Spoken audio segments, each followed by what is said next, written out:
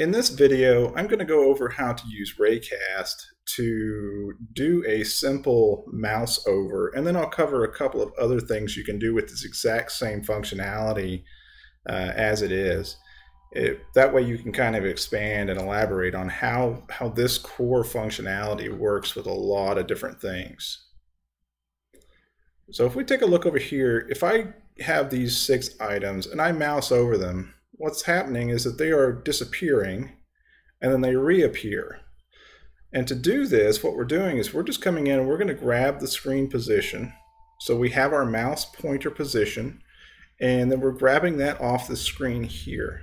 Okay, and this is an arbitrary space that it's going to pick up the X, Y only. So it's very important that you actually convert this to a world point. To do the world point, the first thing we have to do is we have to match our camera, the elevation of our camera, we have to match that to our camera itself. So I'm doing adding 10 to my Z value to make sure my camera that has a value of negative 10 matches between the two. If you don't, your your positions in the world will be way off. So it's important that you match those every time you have to use this option. After that, what we do is we grab the screen to world point. Now this is going to convert those XY, see 4,000 whatever, to down to negative 5, 10. So you see there's a big difference between those numbers. And it's important that you convert those over to do your raycast or, or you'll be raycasting into nowhere. Now we move on to the raycast itself. The raycast origin is going to be the mouse position converted to world point. The direction is just going to be straight down. I'm not doing any type of uh, looking left, right, up, down, none of that. And then I'm doing a distance of one along with a layer mask of hover over. So each one of these game objects has a hover over mask on it. So that th those are the only ones that will show up when this raycast is cast. From there we go on to the to the null check. And I what I'm doing here is I'm making sure that I'm only getting the ones that actually have a check because otherwise it's constantly sending null. And I don't want to send null. There's no reason to do that. So we're going to get a null check to make sure that we're always going to hit something so when we mouse over it, you see how it quickly blinks there. That null becomes the object for that split second, comes down here if we're not null, and then we add the item to the list. So it's a list right down here that we have, comes up, and this is the, the list we're adding it to. And now that we add these items to the list, what we're going to do is we're going to go ahead and set them as inactive. Okay, we don't need them to be active because now that we have our mouse here, we're just going to go ahead and inactivate inactivate, and activate. And then we just mouse over them, it's going to inactivate them, and it's going to add them to that list. And now the second part where they're coming back is here, and this is where I'm actually reactivating them. So we have the list of game objects, and the first thing I'm going to do up here is I want this part to run only if my list actually has something in it.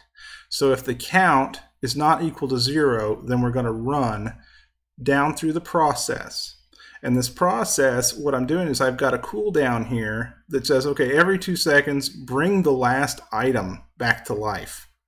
Because we're going to come in here, we're going to say, all right, we're going to mouse over, and two seconds later, it's going to pop back up. And we're going to mouse over, and it's going to come back up. And we're just going to keep doing that over and over. So every two seconds, it's going to keep sending, and another one will pop back up. Now, we set active, and then we remove it from the list. Okay, so this list here comes back down here and then it will do the check again to make sure that it's in my list so I can add it again because it does not contain it in the list. Now, this is the general concept of how this works. Okay, we have a list of items that we want to create a list and we're just going to enable, disable, do whatever you want to them. So let me give you an example of what you can do with this beyond just enabling and disabling you want to do basic stuff like, let's say we want to have a player. I have a little player guy here. Let's turn him on. And what we're going to do is we're going to come up here and we have this little player here, okay? He's a little clickable player. If I click down here, I can move him anywhere on the screen. Let's let those come back real quick and then we can do, all right, you see he has no interaction whatsoever with the objects. Only the mouse cursor does. So if we come in here and I say, all right, I want my player now to be the object that interacts with those. So we're going to do game object find.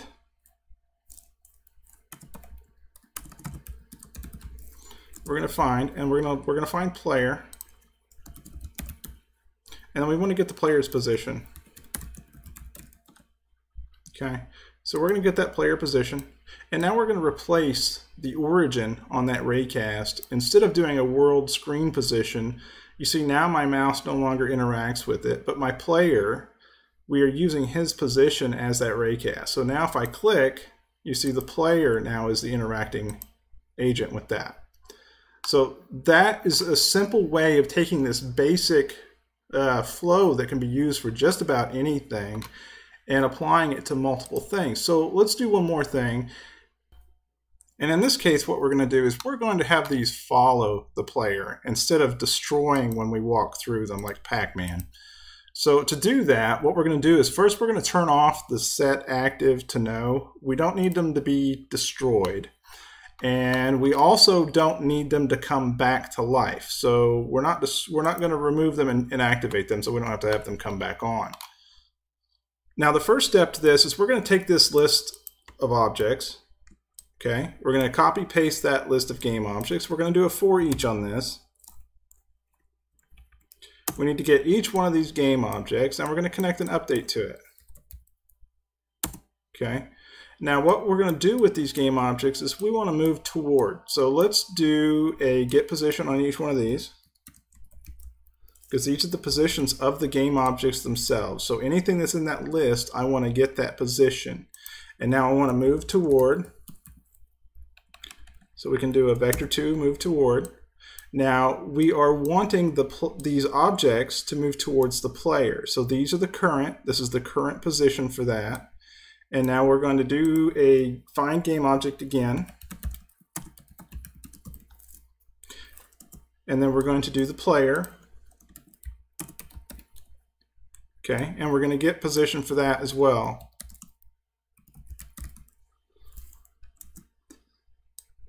Okay, so what we have now is we're calculating the move towards. Now we need to add a time delta time on here. That will make our movement nice and smooth.